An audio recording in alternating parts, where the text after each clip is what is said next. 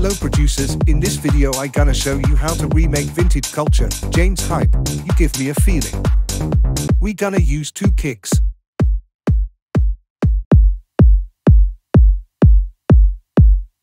Both together. Hi-hat. Clap. Simple and easy bass. Bass cutoff automation. Clap reverb and delay automation. Final result enjoy it.